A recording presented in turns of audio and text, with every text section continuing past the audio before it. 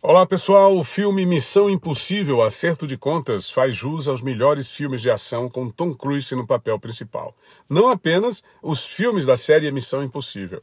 Uma história eletrizante que traz o personagem principal vivendo um dos desafios mais impressionantes e improváveis de todas as suas missões impossíveis.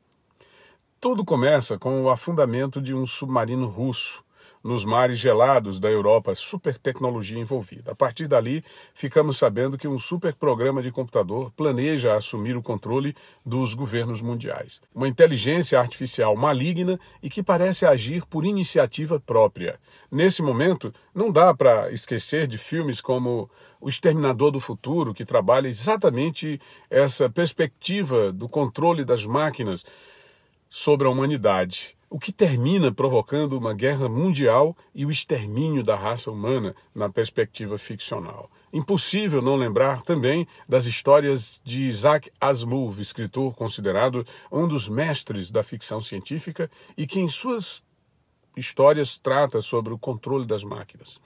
A inteligência artificial no filme de Tom Cruise ganha vida própria e o personagem Ethan Hunt não tem mais apenas que exercitar os músculos e a velocidade. Ele tem também que batalhar com a cabeça e usar toda a sua inteligência para vencer um inimigo que está sempre à frente.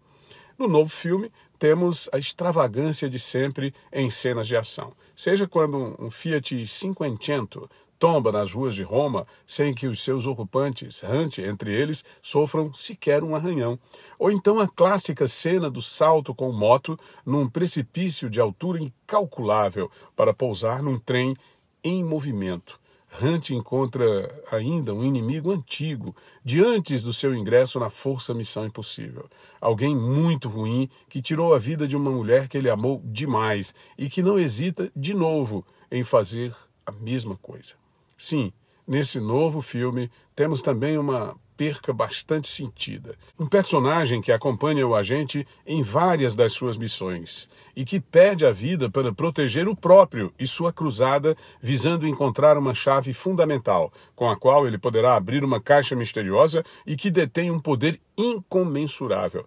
É apenas a primeira parte, tá? O Missão Impossível 7 se, eh, tem duas partes. Aos 61 anos, Tom Cruise se mantém em plena forma. Ele é capaz de correr por vários quilômetros em cena sem a presença de um dublê, ou então de enfrentar lutas que exigem muito esforço físico, até mesmo de um homem jovem. Mas ele se sai muito bem, de acordo com seus diretores e produtores, e a gente pode ver isso tranquilamente em cena.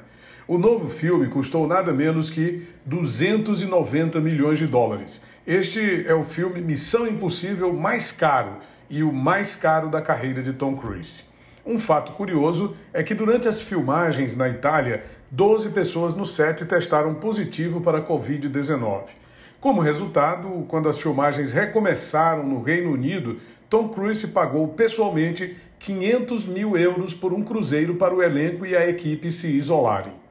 O novo filme, lançado 27 anos após o original, Missão Impossível de 1996, teve cenas rodadas em áreas montanhosas da Noruega, nas areias do deserto de Abu Dhabi, ao lado dos icônicos canais de Veneza e pelas ruas históricas de Roma. As sequências são de cair o queixo e sem dublês. E eu gostei do filme porque gosto de filmes de ação, mas não que tenha notado nenhuma novidade surpreendente. A história segue o roteiro de sempre. Hunt recebe uma missão, tem que cumpri-la, passando por cima de pau, passando por cima de pedra e arrebentando quem for necessário encontrar pela frente. Também não é a primeira vez que ele perde a mulher amada. A ação vale a pena, mas a história precisaria de uns retoques no roteiro.